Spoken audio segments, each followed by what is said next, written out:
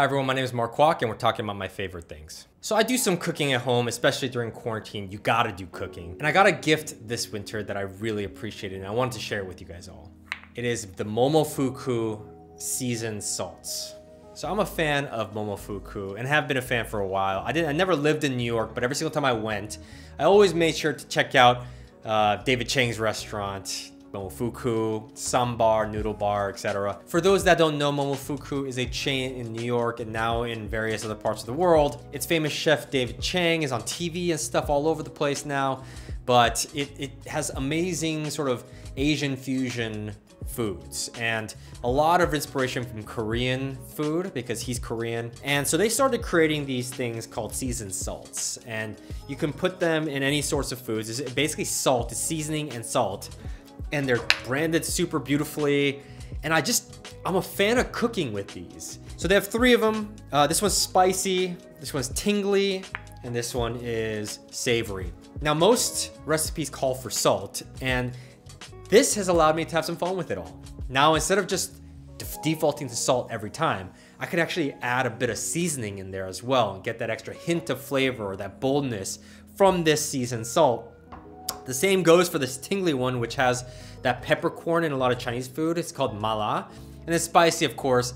I'm a fan of spicy just in general. I don't actually think this is very spicy, but it gives you a little bit of that, that spicy taste as well, which for me is kind of like every meal I need that. And I know that there's a bunch of seasoned salts out there already, but this just makes it easy, right? Like the curation done to get these flavors is by Momofuku and David Chang and those folks. And, and given the fact that I appreciate that sort of palate already, I knew it was gonna be a good fit. I'm just putting it on everything at this point. And it doesn't really get that tiring because the spices aren't overpowering. You could almost use it like a salt, which is on everything, and you just get that a little extra bit of flavor, that's all. Regardless of your palate, regardless of how picky you are with food, these are relatively safe. Uh, I will say the tingly is probably the most kind of polarizing if that's the case. If you don't, if you've never tried peppercorns and like those Chinese peppercorns that maybe numb your mouth, you may not like that. I, as an Asian American, love that, and so this is this one is no problem for me. So a couple key notes. Uh, first of all, this is $28 for these three salts. Um, worth the price? If we're talking about a purely utilitarian view of these, like, oh, seasoned salts, $28 for three of them is probably ludicrous. And I would not, I, if you have no appreciation for this, I would not eat these. Like, I, I think it's, I think it's not a great value. That being said, I think in two scenarios, it is worth the value. The first is as a gift. I think it's a fantastic gift.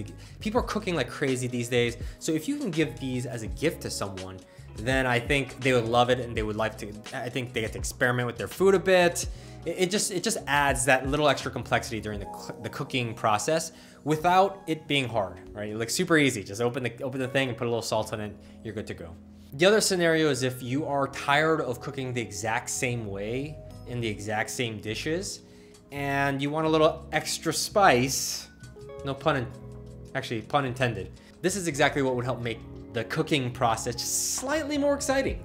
And your the flavor is slightly more exciting. If that matters to you, then I suggest, yeah, like you're it's a safe bet. Like these taste good. These are like I don't mind. I can literally go in here and try a little bit. Tastes great. So slightly mixed on my recommendations because if you're just looking for basic seasoned salts, these are too expensive. I want to go for it. But if you're looking for that extra spice in your dishes, you're looking for a new way to kind of add a little bit of oomph to your cooking process, or you're looking for a great gift to give someone, then in those cases, I highly recommend this. Love the Momofuku seasoned salts. Highly recommended. All right, Momofuku seasoned salts, one of my favorite things. Thank you so much for watching. I'm Mark Kwak. I will see you guys on the next one.